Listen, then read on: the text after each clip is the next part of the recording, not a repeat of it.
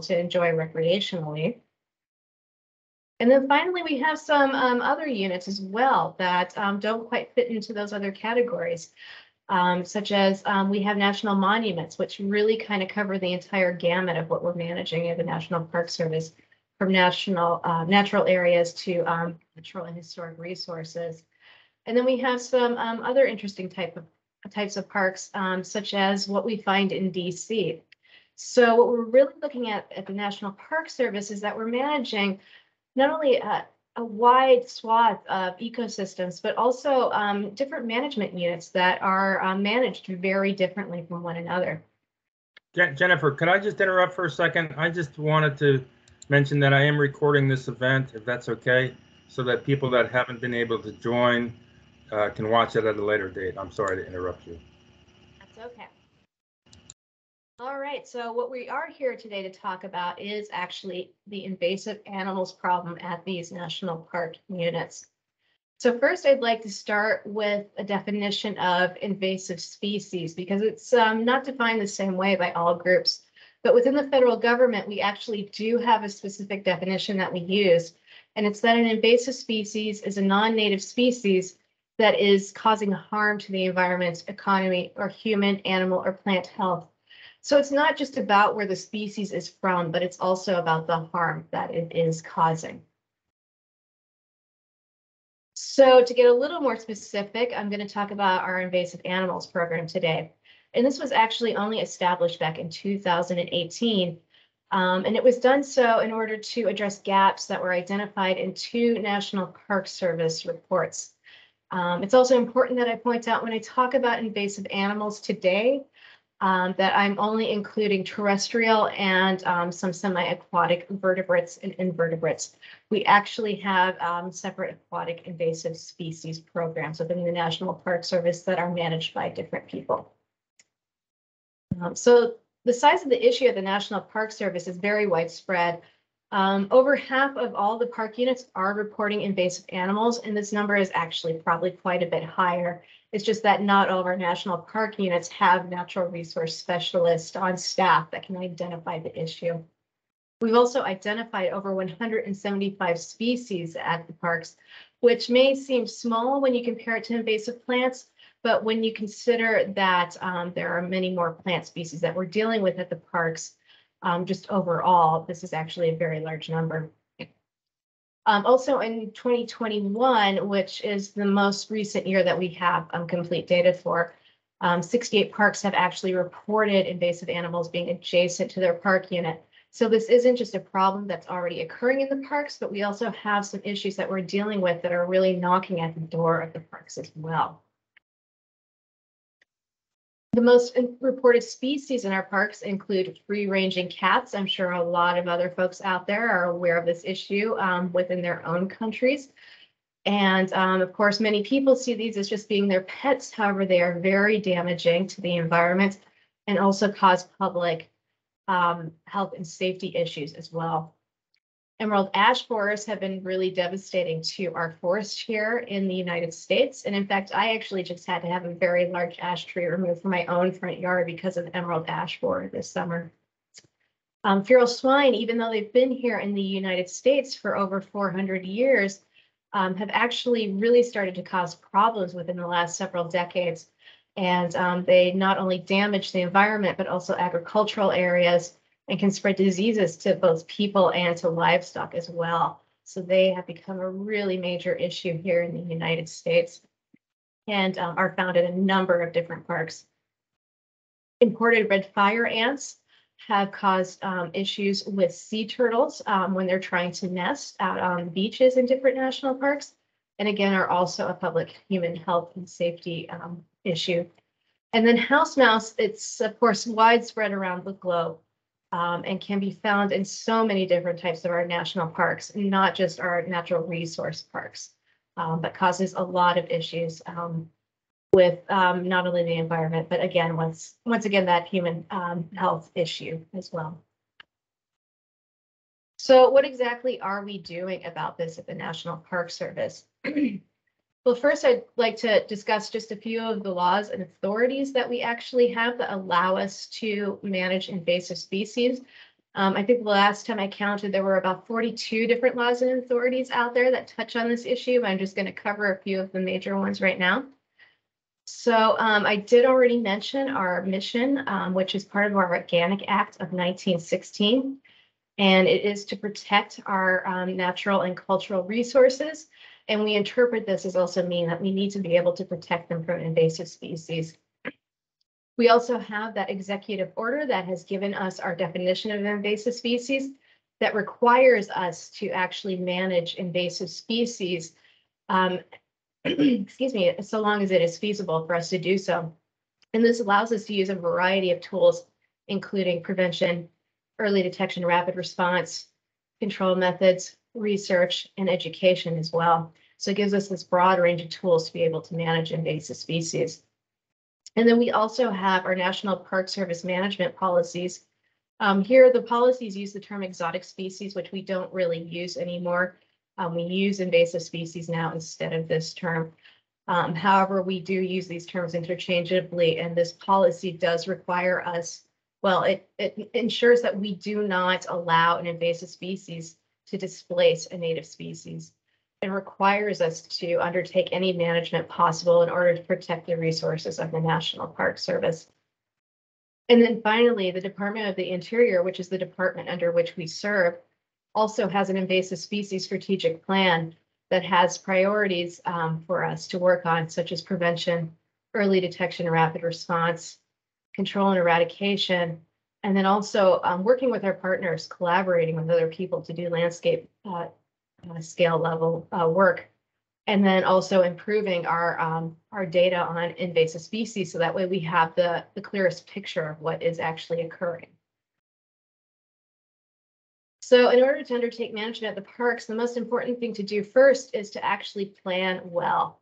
And um, at the park level, there are a number of different tools that they use for planning. One of these is their general management plans, and these um, are actually uh, developed in order to um, to help meet a broad uh, range of management goals that a national park would need to um, achieve in order to protect their resources.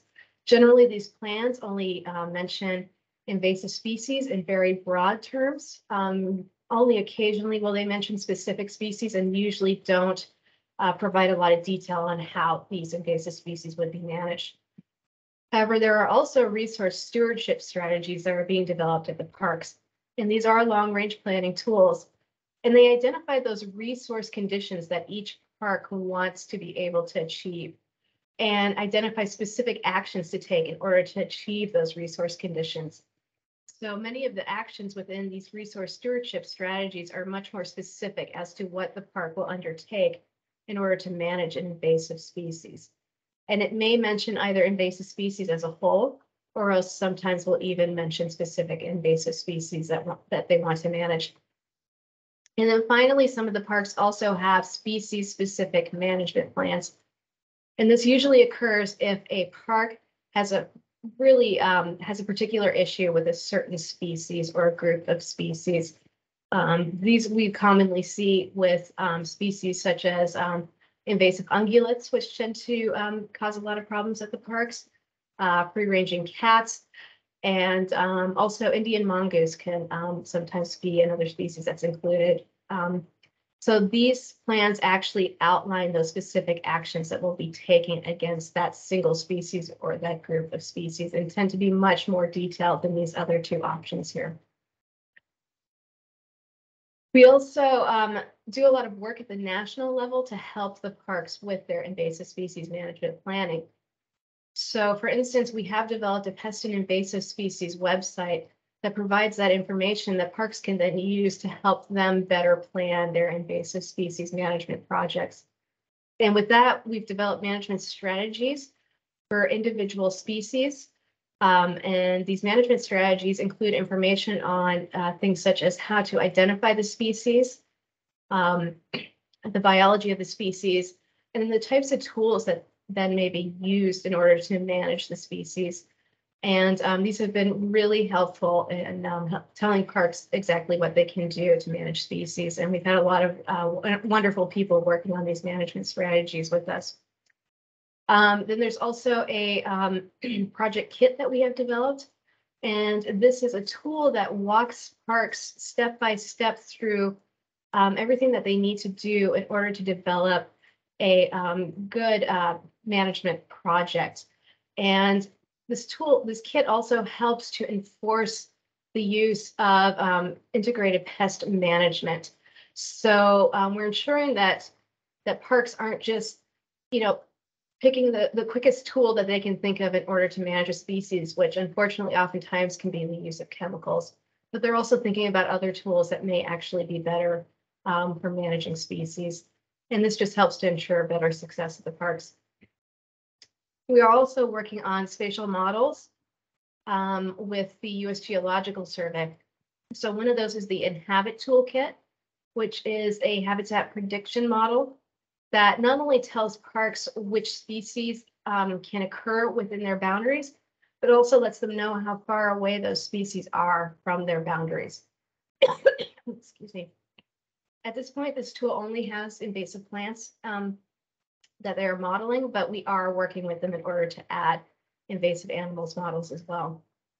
And then we're also working with them on a management prioritization tool, which identifies those habitats which are at most risk for being invaded by any invasive species in the future. And also takes into consideration what sensitive resources are at each site. So that way we're really managing those sites that we want to make sure we, we do protect. And then finally, our climate change program has developed this thing called the RAD framework. And what it does is it tells parks um, it, it, helps them to decide whether or not they're going to resist, adapt, or direct certain aspects of change that are occurring due to climate. Um, this is a tool that we see great opportunity for using in managing invasive species as well. And we haven't applied it yet, but we are starting to work on that as well. So when you actually finally do start undertaking management, what we prefer to see is parks using prevention in order to manage um, their invasive species. Because if you catch a species early in the invasion process, it is much cheaper and much more likely to be successful. So we really do try to push for prevention at the national parks. In order to do that, we've been developing certain education and outreach products. And we're doing this by partnering with the North American Invasive Species Management Association, Wildlife Forever, and the U.S. Fish and Wildlife Service. And we're developing outreach products that are actually standardized so that way they're being used at multiple protected areas throughout the country. And we're hoping that this helps to internalize that message better and really is what makes the, the change in the human behavior that we need to see. Um, and then we also work with this group in order to develop certifications and strategies that we, we are preventing the introduction of new species. So when prevention fails, then we need to go to early detection and rapid response, which is the next step of that invasion process. Um, at the national level, we have collaborated to develop a white paper that is um, that helps us to identify what each agency's role in um, EDRR. So this will make it a lot easier for parks to understand what they are allowed to undertake when they are doing um, rapid responses and um, then also what they're expected to do when they are undertaking this type of management. Um, we've also been involved with the implementation of the National EDRR framework, which is being developed in order to um, help uh, make EDRR a lot easier um, for us to do throughout the United States. And this includes um, trying to improve eDNA technologies, improve our predictive modeling, um, and then also looking into how we can get more boots on the ground to actually do the rapid response work. so currently um, at the National Park Service, we've been partnering with the USGS to work on some of those spatial models that I had mentioned earlier. And then finally, the parks are the ones who are actually implementing EDRR plans at this moment. And um, unfortunately, we don't have a lot of resources to do that at this point, but that is also something that we are currently working on. So a good example of an EDR project is the work um, that the Everglades has done with the Argentine black and white tegu. Um, they found some breeding populations in the area in 2008, and there have even been a few tegus that have made it into the park. So, um, but they haven't really established there. So the park has been working with the University of Florida interns in order to trap um, tegus that are along the park boundary. And so far, they've trapped about 2,800 tegus since 2019. However, the species still has not become established in the park yet. Um, finally, when prevention and EDRR do not work, then we, all we can really do is try to control and if at all possible, eradicate the species. Again, this is going to be much more expensive um, than the other two options and is far less likely to be successful. However, we can still sometimes get some control of the species. Um, again, this is something that is implemented at the park level. Um, unfortunately, for invasive animals, control technologies can be limited for many of the species. Um, things tend to be better when we're dealing with invasive insects. However, when we start looking at things like reptiles and mammals, there just really aren't as many technologies out there for successfully managing those species. Um, however, we do collaborate with partners in order to accomplish some landscape level control and eradication.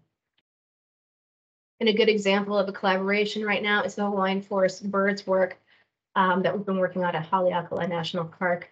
There are currently four species of Hawaiian forest birds that are at imminent, imminent risk of extinction. Um, and this is partially due to climate change, but it's also um, due to avian malaria, which is a vector that we can really control. Um, the, an invasive mosquito is what is spreading the avian malaria. And so um, we've been partnering with um, the U.S. Fish and Wildlife Service, U.S. Geological Survey, um, the Office of Native Hawaiian Relations, and then our department's um, Office of um, uh, Budget and Policy. And um, we've developed a strategy for actually managing the invasive mosquito and also helping to protect uh, forest birds at um, across the Hawaiian Islands. Um, however, Haleakala National Park will be the first site that will receive um, um, a control of invasive mosquitoes through an insect incompatibility technique. Um, we've also been working with this with state agencies, non-governmental organizations, and universities as well to make sure that we are working once again at a landscape level to manage um, this issue. And an example of success of um, managing an invasive species at a park is feral swine management at Cumberland Island National Seashore.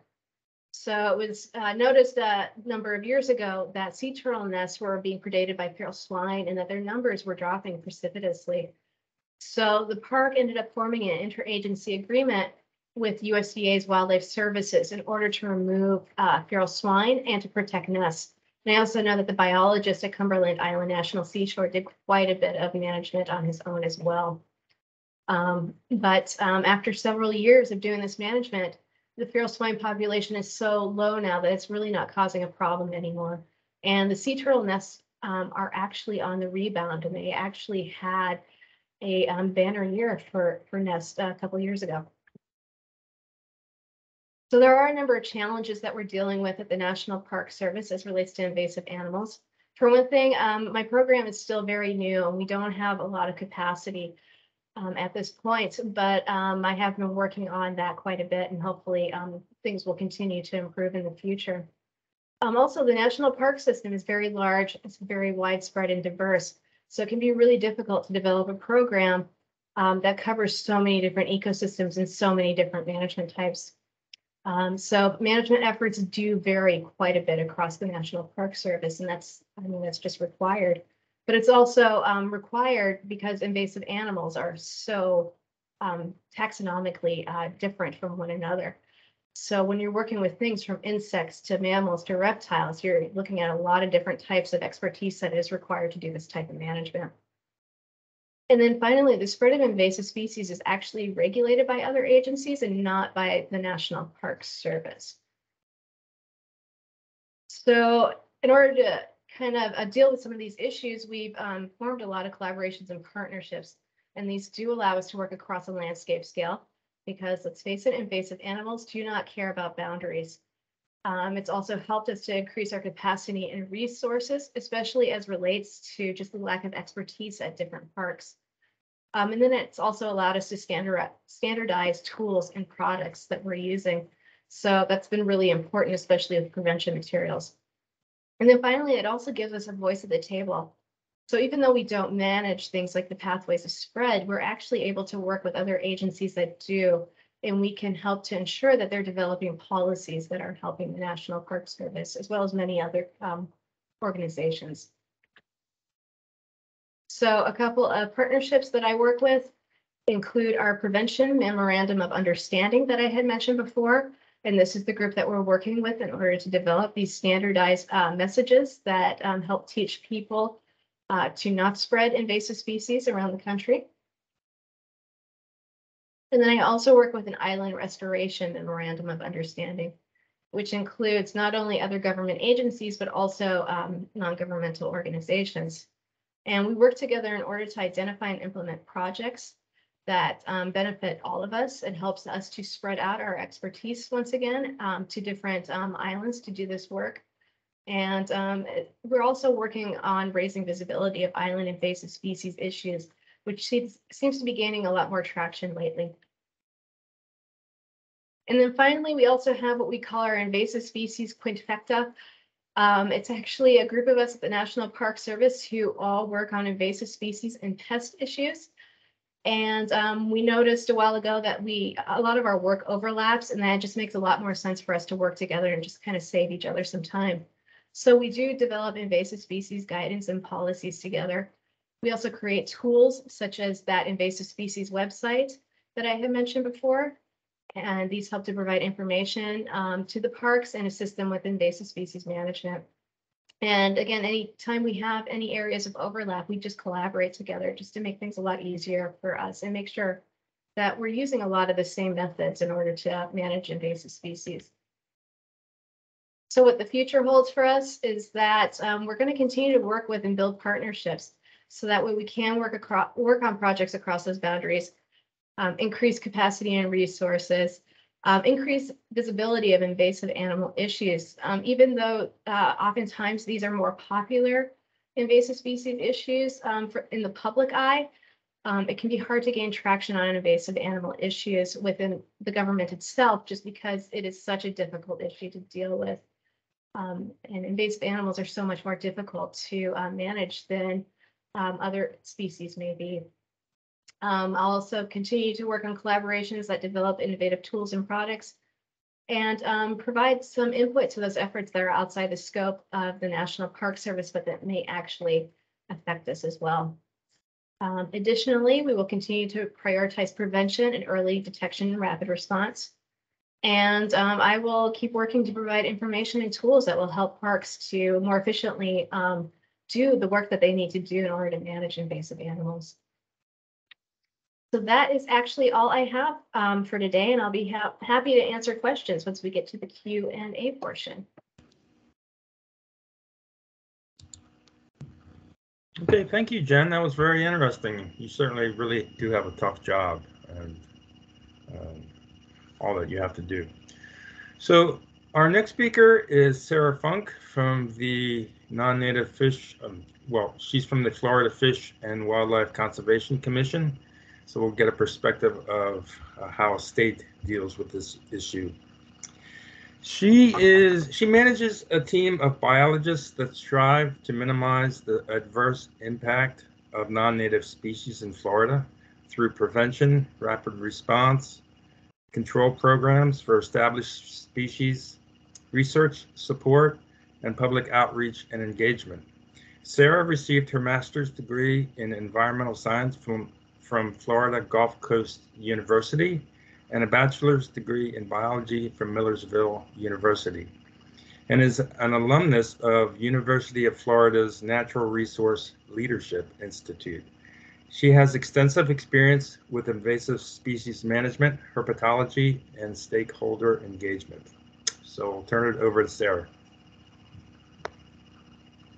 Thank you, David. Sure. Right. Let's get screen sharing. Great.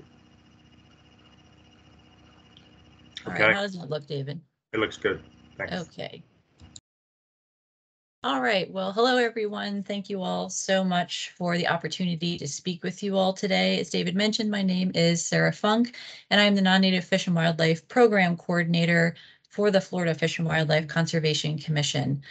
Our agency's mission is primarily to manage natural resources both native and invasive for the long-term uh, well-being of those species and for the benefit of our citizens. So I really, again, lead a team of biologists that work specifically with non-native and invasive fish and wildlife in Florida. It is a statewide program that I oversee. So I oversee all operations and projects pertaining to the management of these species. And I'm going to tell you a little bit about what we do. So in the state of Florida, we're in the southeast portion of the United States. And unfortunately, our state is very susceptible to invasion.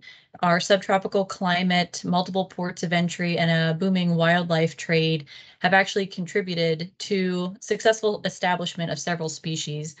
We've received well over 100,000 observations of non-native fish and wildlife in the state of Florida, and that represents about 550 species. But that doesn't mean, of course, that they're all established. That doesn't certainly mean that they're all invasive.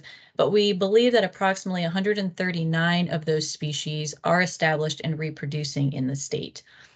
And that doesn't include lionfish.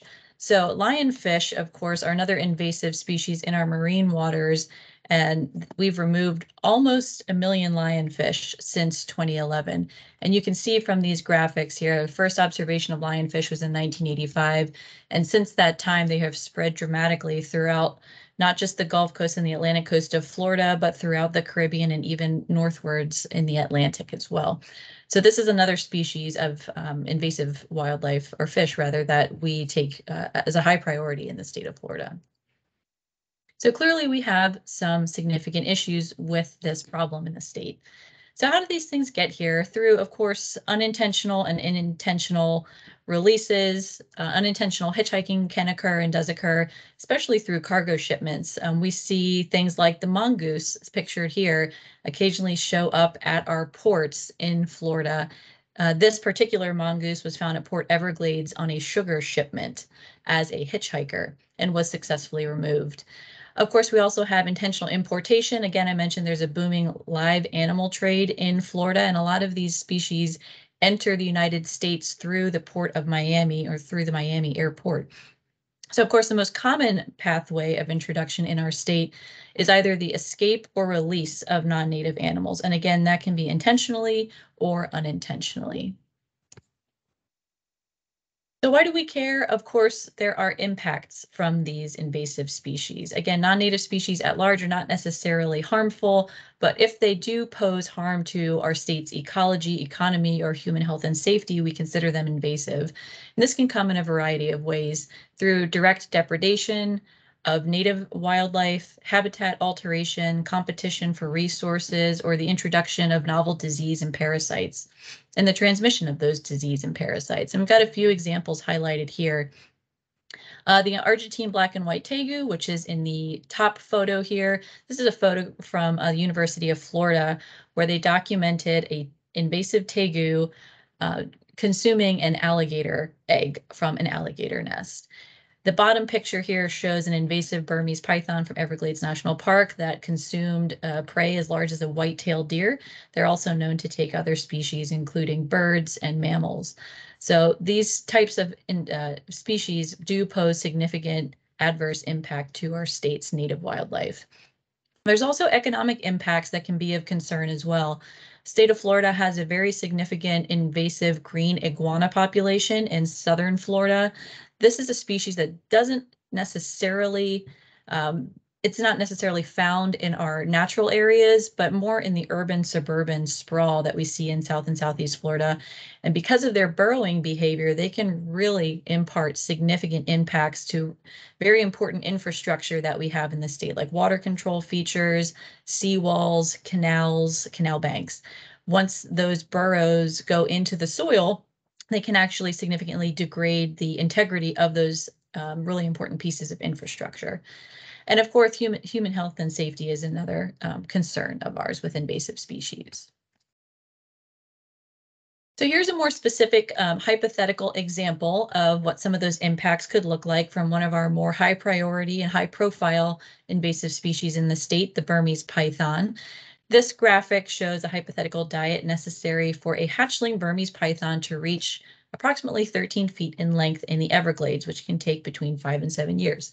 So this is, again, just a graphic to help everyone visualize what kind of impact a single individual Burmese python can cause on our uh, native wildlife.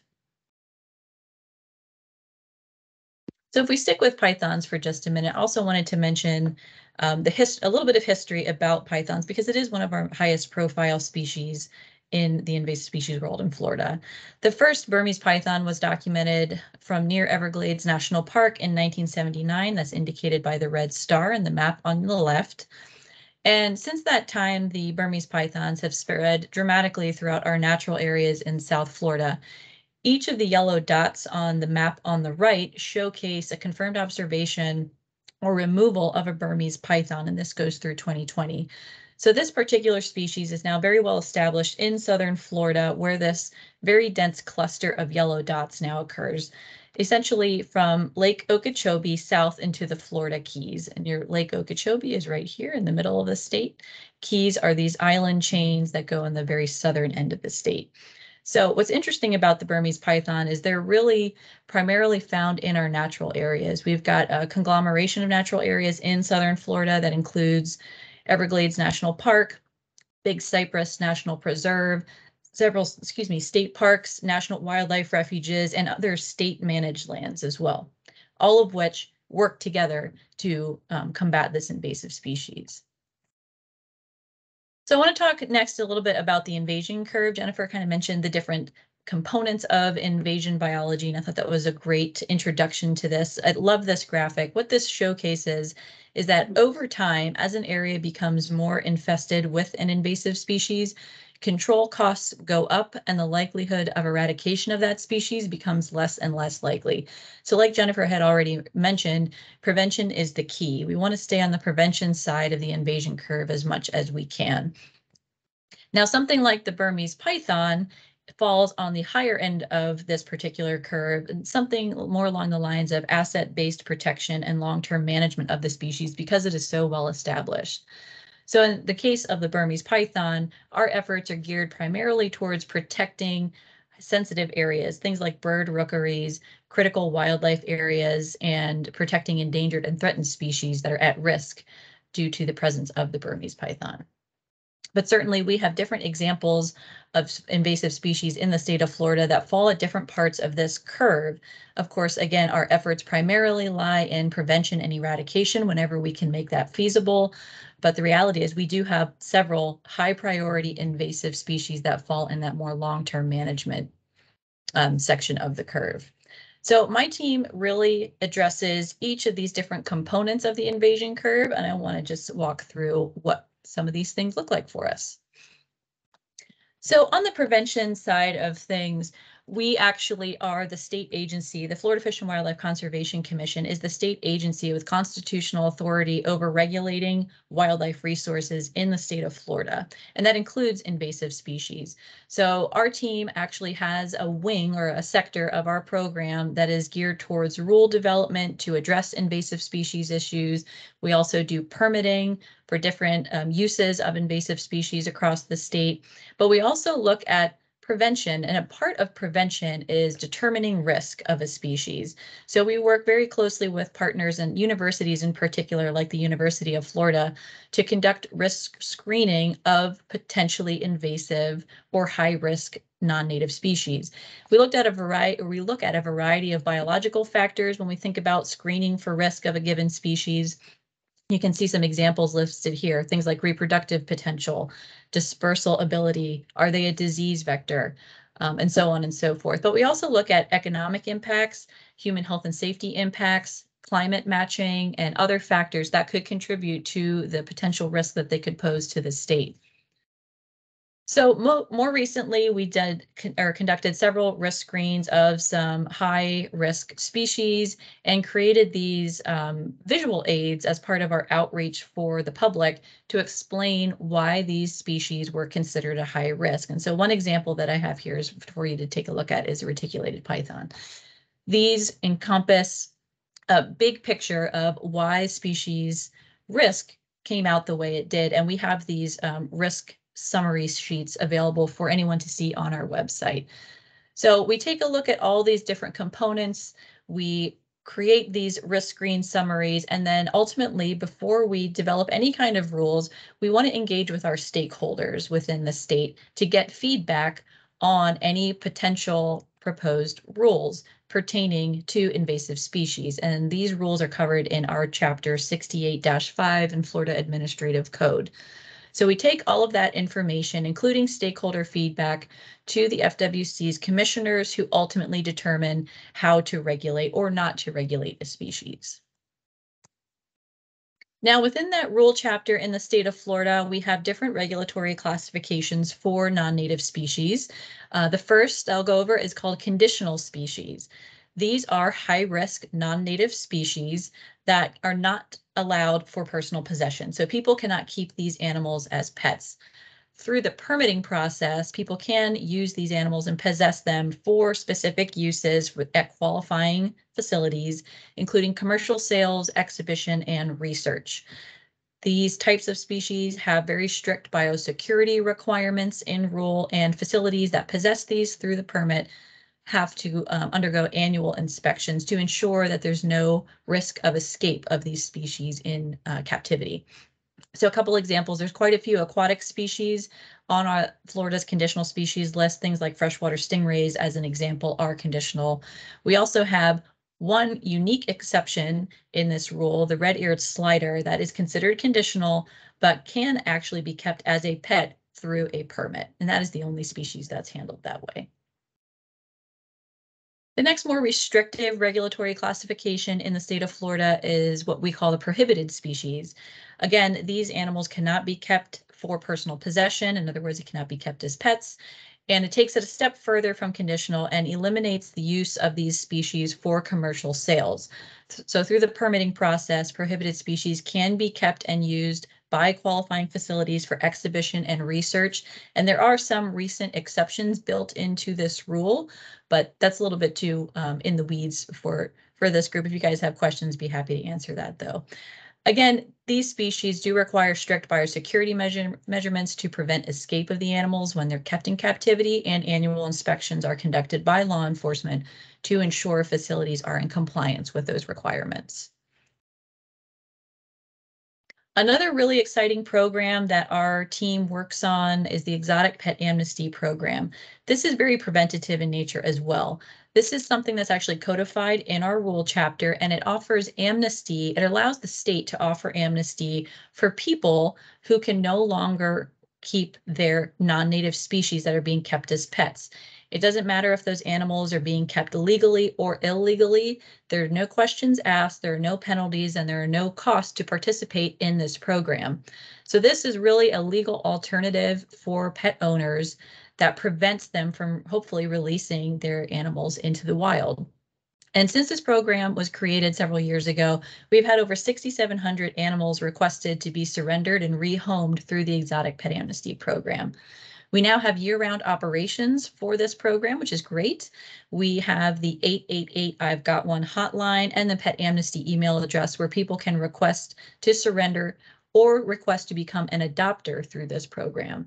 We actually have over 800 qualified adopters for various taxa right now, and so we reach out to those adopters when we get a request for an animal to be surrendered. And we work with those adopters and those surrendering pet owners to try to facilitate rehoming for those animals. We've recently expanded this program as well. So now we have many, many out of state adopters in our system as well. And that's been really, really helpful because we had a recent rule change that added green iguanas and tegus to the state's prohibited list. And once that happened, we had some difficulty in placing those animals when they were surrendered through the Exotic Pet Amnesty Program with in-state adopters. So we decided we need to think bigger, we need to think outside the box. We identified and recruited several out-of-state adopters, and now we work with them regularly to rehome those species when they come to us. So overall, this is a really successful program. We really love it, and we're really proud of the success that we have with this one. Now I mentioned the I've Got One hotline, the 888 I've Got One hotline. This is a hotline that is operated by um, one of my staff every day, Monday through Friday. And not only does it take calls about pet amnesty requests, but it's also a public reporting tool that exists in the state of Florida so that members of the public can report any observations of non-native and invasive wildlife to the state in hopes that we can coordinate rapid response to remove that animal from the environment. So if we think back to the invasion curve, we're now moving up the curve slightly into that eradication rapid response segment. So this is another way that we get reports is also through the I've got one.org website, which is the same as EDDMapS, and also through the I've got one smartphone app. When people report their observations of a species, we look for three big things to be able to determine whether or not we can actually coordinate a successful response. We're looking for high quality quality photographs so that we can confirm identification of a species. We're looking for specific location or GPS points for where that species was seen and the date when it was seen. Ideally, in an observation report, someone has seen that animal recently or is actually looking at it real time when they contact us. So as I'm sure you all know, the sooner we can move on these rapid response efforts, the more likely they are to be successful. If we receive a blurry image or an image that's really far away, we don't have great location data, or the animal was seen three weeks before the report came to us, there's not a lot that we can do with that particular situation. So when we get these calls uh, for early detection and rapid response or EDRR, uh, we get them again primarily through the website or the hotline. And our operators, or people who are reviewing these reports, ask themselves a couple questions. Is this report credible and is it verified? If it's not verified, then maybe we don't coordinate a response. Second question here is, is it a high priority species for removal? That's a really important question too, because it all leads into our third question of do we have capacity to respond? Not every species that we receive a report about is considered a high priority for the state. And that's primarily because we just do not have the bandwidth to respond to every single report of every single species that we have. I have approximately 15 to 20 staff primarily in South Florida, where a lot of the primary issues are occurring. But if we get a report in a different part of the state, we have to reach out to our partners, volunteers, contractors, law enforcement, and many other potential options um, to actually be able to coordinate a successful rapid response. So we have to say, yes, it's a verified or credible report. Yes, it's a high priority for us to use resources to respond to. And yes, we actually have the capacity to respond. So if that happens, we can move forward with our response efforts and we use a variety of tools and techniques to catch a variety of different taxa, everything from reptiles and birds to mammals and fish, just depends on the situation. Um, pictured here, we have uh, some of our staff working with local law enforcement to remove a spectacled caiman, which is an invasive species in the state of Florida. And on the bottom picture, we have one of our staff that had removed an Asian water monitor from an area. So I wanted to also emphasize that early detection rapid response not only requires resources, but it requires a lot of time and dedication from whomever the responders are. This particular example is a video I want to show you and hopefully it decides to work. Hopefully y'all can see that.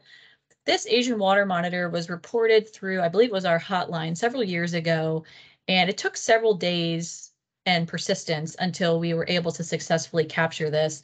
But you can see someone has to be really motivated and dedicated to crawl into that culvert where the water monitor was eventually found after three days of searching and hand catch it.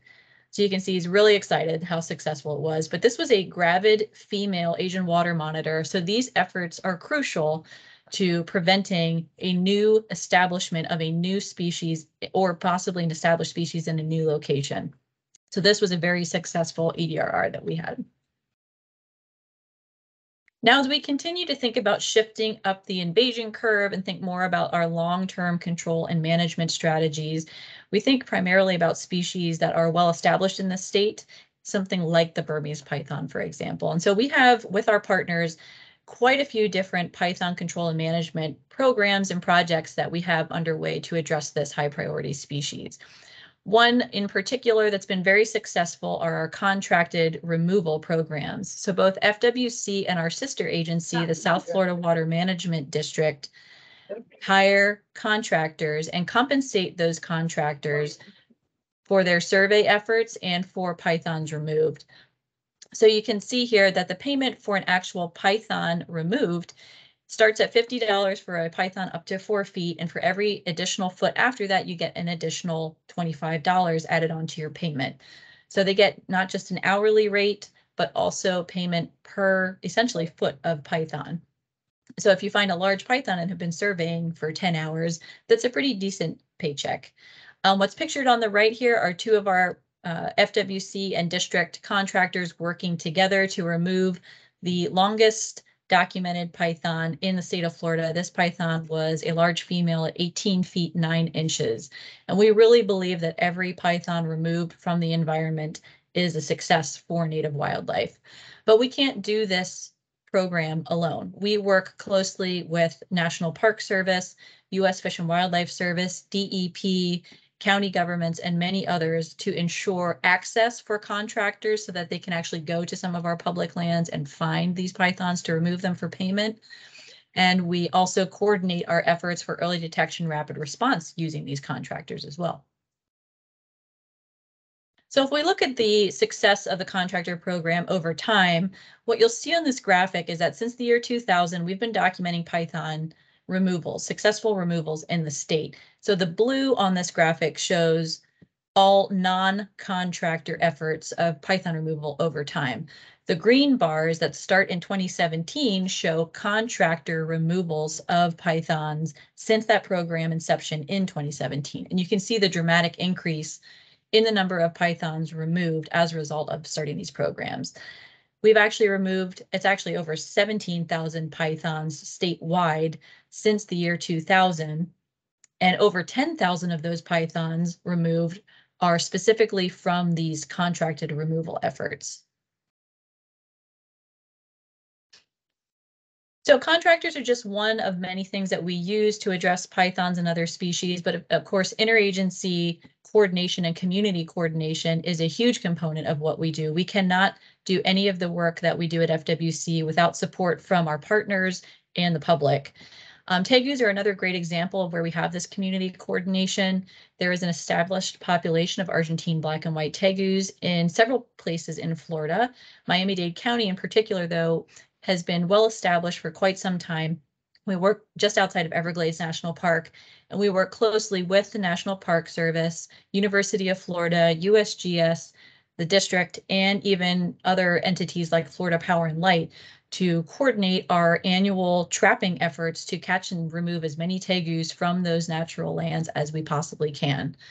The FWC now has contractors running trap lines in this area as well. So that's just another effort that's added to the mix. And we also do trap loans with landowners that are um, seeing tegus in Florida City and Homestead, which is just outside of this established range, just on the edge. So all those combined efforts really result in a successful removal of tegus every year. However, they are still well established, so we have to continue to put forth a lot of effort, time, and talent into these um, annual removal efforts. Another thing that FWC does in coordination with um, several partners is Nile monitor canal surveys. We also have an established population of Nile monitors in Palm Beach County, which is just north of Miami as the crow flies. So what we do is these are semi-aquatic species from Africa, well established on these canal banks. So we actually take boats up and down the canal systems where we know they exist we search for them visually, and if we see one and we have a clear and safe shot, we will remove that animal immediately with shotgun. Um, there are still a few Nile monitors out in these areas, so we still conduct these canal surveys several times a month, but they are very, very difficult to see, and we are at the point where we believe we've contained this species at some level, but it's it's still very well established, and you just never know. So it's another really important um, component of what we do.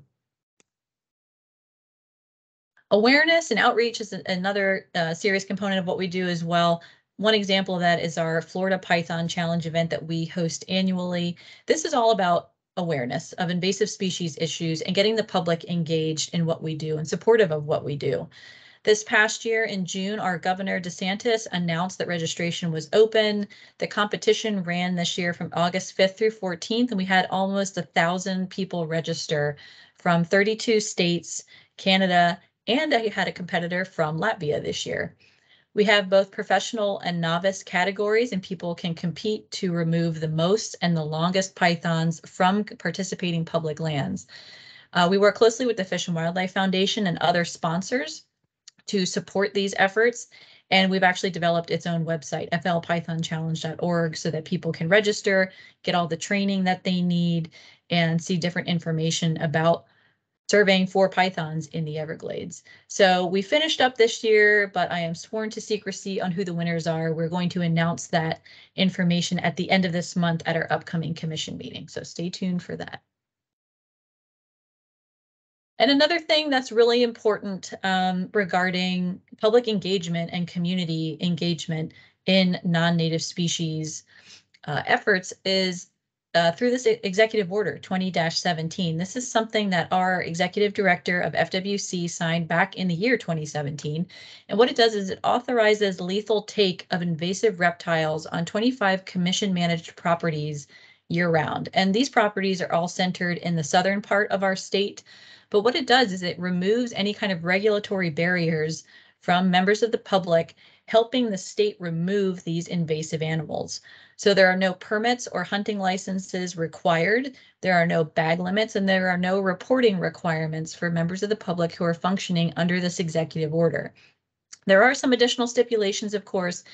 Anytime anyone removes an invasive animal, it always has to be done legally and humanely. You still need to follow all the other area regulations on site.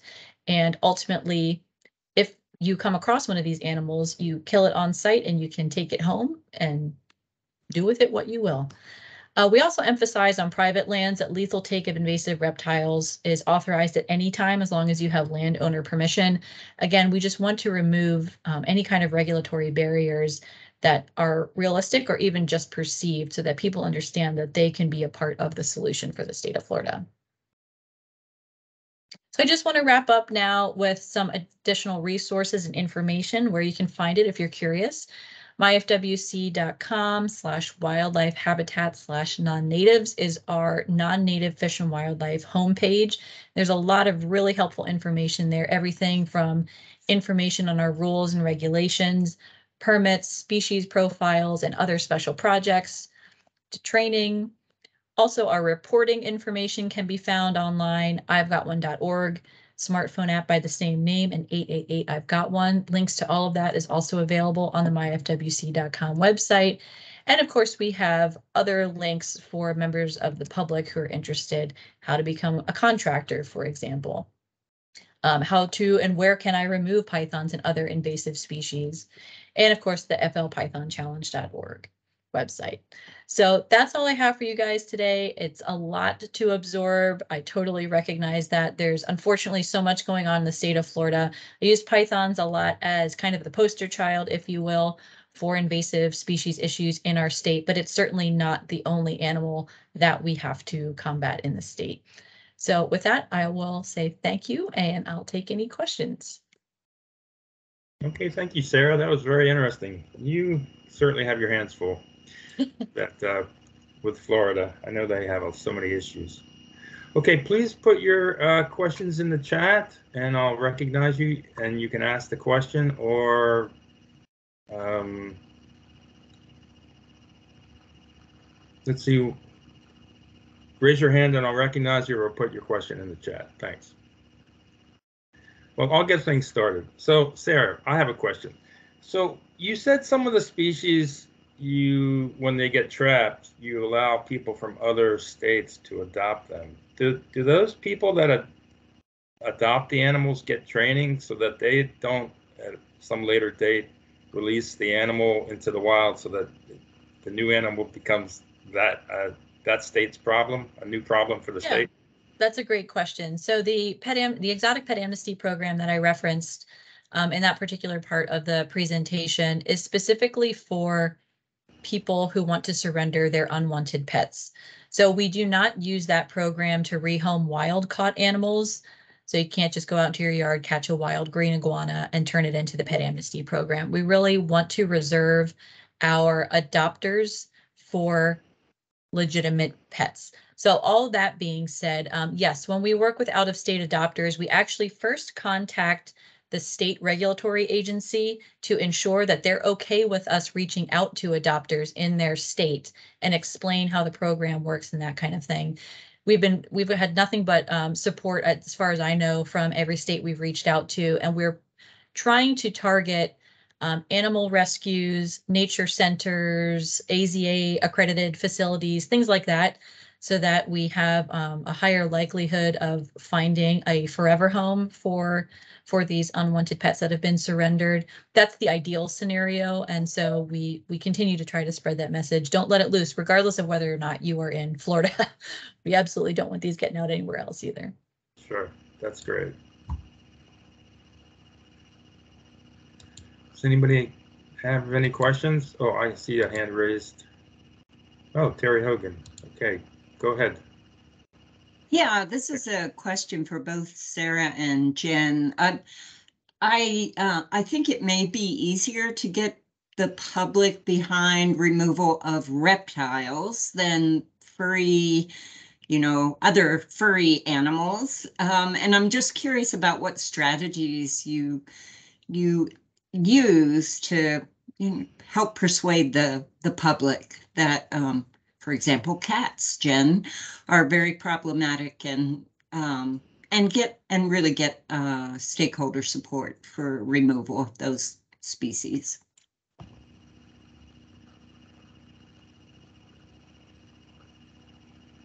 Um, yeah, so one of the strategies, um, we, actually have um, developed a um, free-ranging cat uh, engagement toolkit um, in the National Park Service to provide us with uh, some recommendations for how best to engage the public when we are managing cats. And I think really the most important thing is trying to find those areas of agreement that we have, which is even when it comes to cat welfare groups, um, many of them don't want to see cats suffer.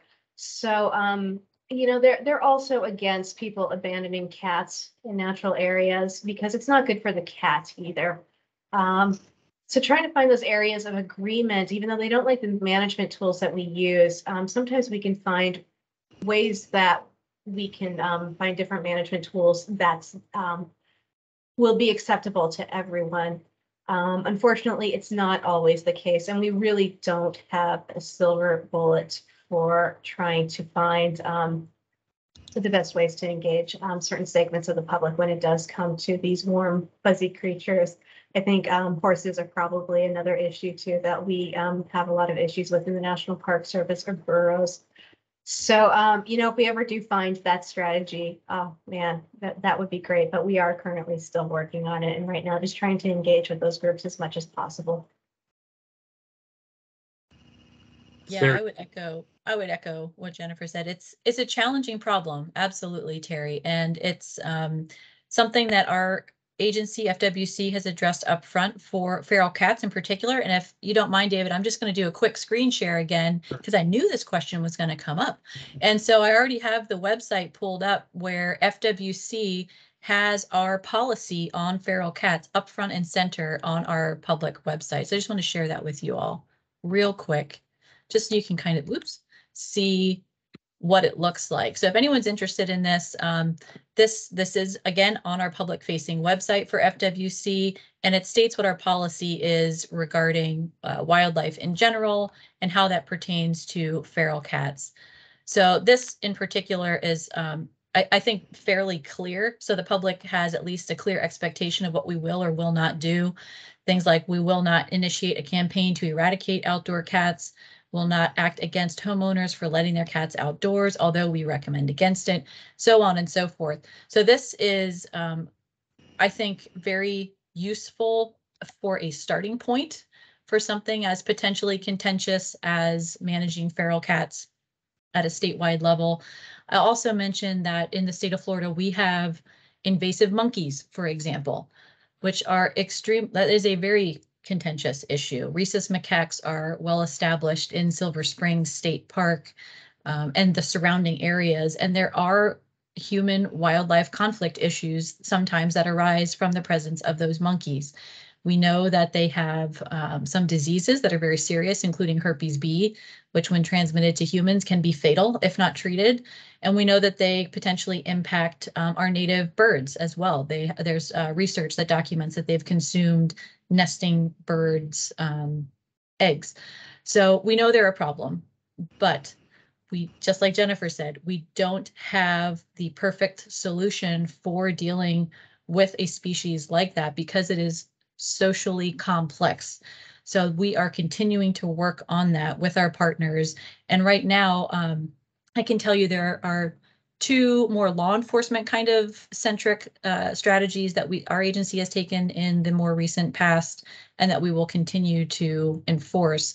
One is we actually developed a new rule a couple years ago that prohibits the feeding of non-human primates in the state of Florida.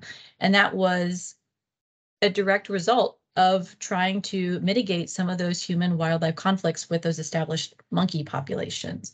So that can be enforced now because it is officially a rule in the state of Florida that you cannot feed monkeys essentially. And that helps. It's certainly not the cure all, but it certainly helps.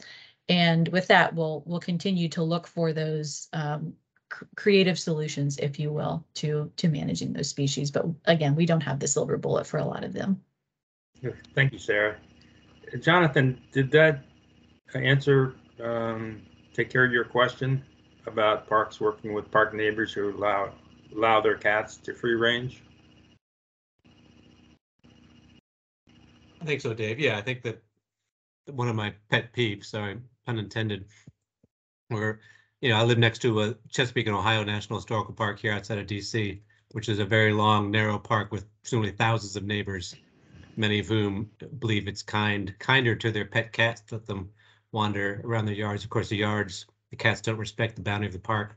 And I've seen these cats in, in park boundaries many times, uh, you know, hunting birds, snakes, small mammals, etc. So, and that's just, you know, a very small stretch. You can imagine that impact multiplied over 184 miles of park boundary and all thousands of homes. So again, I think the point is it's not just feral cats, but it's often, you know, cats with a home, pets with a home that get fed, but still go out every day and hunt. And I think we're just barely measured impact of that uh, in our in our natural areas. So that's my two cents. Thanks. Thank you. So Dorothy had a good uh, comment. Uh, has have you received support for organizations like PETA, the, the People for Ethical Treatment of Animals? Do they support invasive species removal, or do they fight you? Um, I am not aware of their broader invasive species um, policy statement, but I do know with free ranging cats that they do support removal and, and they do support huma- humane euthanization.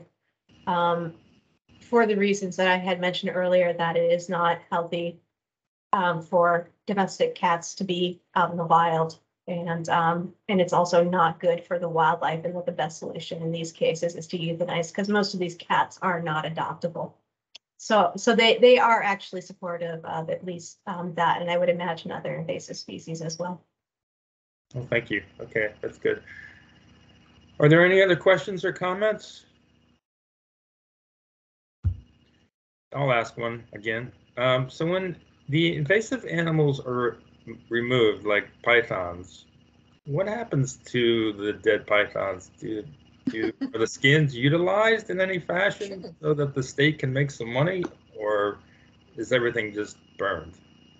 Yeah, good question. So generally speaking, um, as long as you have landowner permission, and there'll be some caveats, so hang tight to that. But as long as you have landowner permission, you do everything legally and humanely, most of the times uh, our contractors and members of the public can keep the Burmese python carcass they oftentimes they don't even have to report it to us. We prefer they do so we can continue to track where these animals have been found or seen.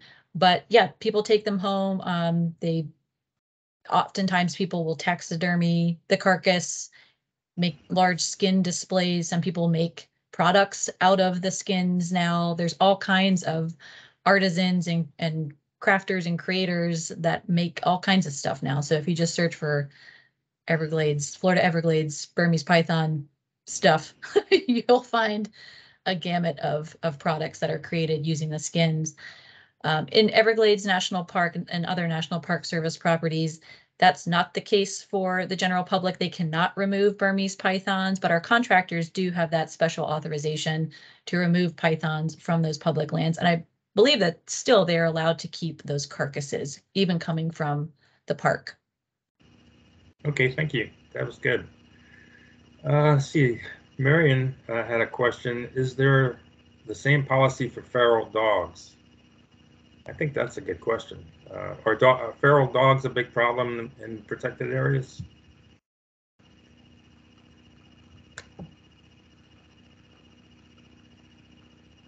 Oh, I can't hear you, Jennifer. Oh. Now I can. Thank you. Okay. Um, I'm not hearing, um, as much of an issue on feral dogs. Um, they, they certainly do exist within the national parks, but what I hear from the parks mostly is feral cats.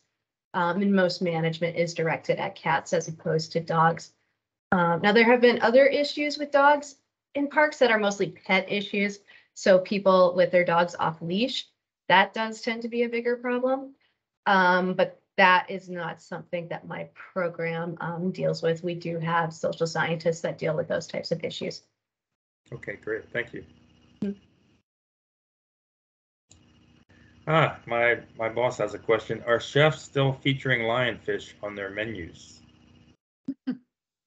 Yes, absolutely.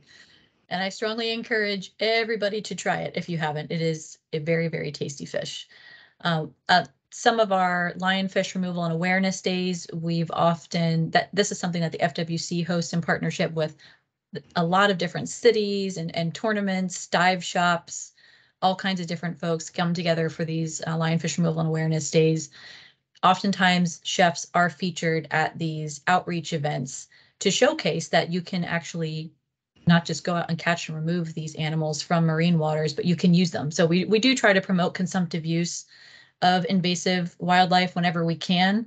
Uh, we definitely push that even for Burmese pythons, maybe not to eat Burmese pythons since they're so high in mercury, but certainly are supportive of people using the skins, like I mentioned earlier. So yeah, absolutely.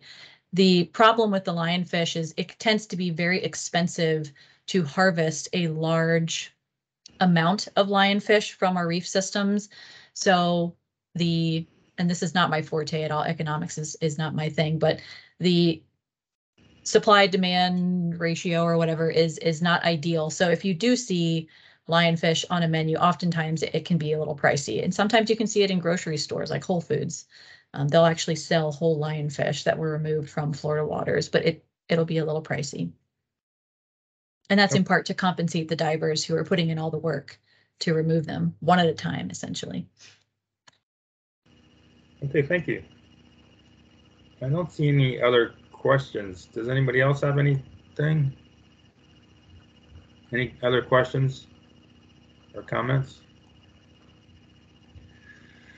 Well, um, could you guys put your email addresses in the chat just so in case anybody has any further questions, they can follow up with you? Okay, Terry says, excellent presentation. Okay, we have one more question um, from Sultan. He's got his hand raised. Go ahead. Yeah, hello. Yeah, Hello. hello. Thanks for great presentation. Uh, I wonder, do we need to uh, identify the invasion stage before implementing a management program for the invasive species? I wasn't sure I got the whole part of that question. Can you repeat that? Do we need to identify them? Yes. Do you hear me now? Yes. Okay. Do we need to identify the invasion stage for our species before implementing a management plan for this? Okay, thank you. Yeah, yeah, I mean, that, that would absolutely be a requirement, um, because it will depend upon what type of management you apply, whether you're in the prevention stage, the early detection, rapid response stage, stage, or else the containment stage, where you're just doing control at that point. Yes, I fully agree. Um, it- it's really important to know what stage of the invasion curve your species is at or your population of a species is at before you make any management decisions. Um, the other thing I wanted to mention too regarding management plans, the state of Florida actually now has two invasive species control and management plans that are taxa specific. Um, one is for lionfish and uh, the other is for Burmese pythons. We just finished Florida's first Burmese python control plan last year, and that was another joint effort with multiple partner agencies, organizations, and tribes, and even one NGO. And that was a multi-year um, process to finalize that control plan for that species that we know a lot about compared to a lot of other invasive species. So it on the planning side of things, it is a lot of work, especially for those more well-established species that you don't have the silver bullet yet for, but it's totally worth it to organize your thoughts, come up with those unified strategies and goals and, and collaborate with your partner agencies. Okay, thank you. And Ahmed has a question as well. Go ahead, Ahmed. Hi, everyone. Uh, Thank you for the presentation. I'd like to uh, thank uh, National Park Services and I would like to thank the presenters. Uh, My name is Ahmed Al Malki. I'm from uh, Royal Commission for Al Ula from Saudi Arabia. Thank you so much. We appreciate your efforts and we wish you all the luck. Uh, I have one comment. Uh, You mentioned before about the the prevention of uh, the prevention of uh, invasive species. So I, I totally agree about that. Do you have, for example, a methodology or practical ways to apply it? So for example, I'm, I'm, I'm afraid now in my uh, county to, to have Indian myna, for example. Uh, it's surrounding me, uh, south of, of, of Al Ula, north of Al Ula, we, we, we spotted Indian, Indian myna. Uh, uh, th- thanks to God, not yet uh, arriving to Al Al Ula. So I'm concerned about this. What what are the, the practical uh, steps to, to do to prevent having Indian myna in, in, in, in our uh, county? Thank you so much. And I hope these efforts will continue. Thank you. Thanks for your question. Um, that's a that's a tricky one for sure. Anytime we talk about prevention is very tricky. So um, I can tell you what Florida does on our end uh, for prevention. We often look at special programs like the Exotic Pet Amnesty Program to be preventative in nature. Uh, but we also have preventative regulation as well. So I don't know if that's an option for your country or not, but it, it would be something to consider potentially.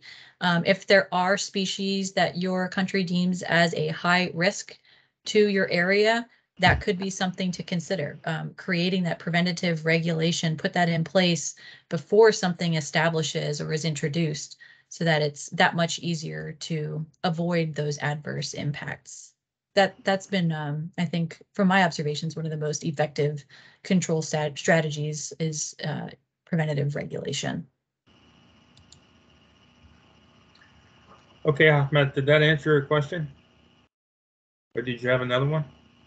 Thank you. Thank you so much. You're welcome. Okay, any other questions or comments for our two panelists?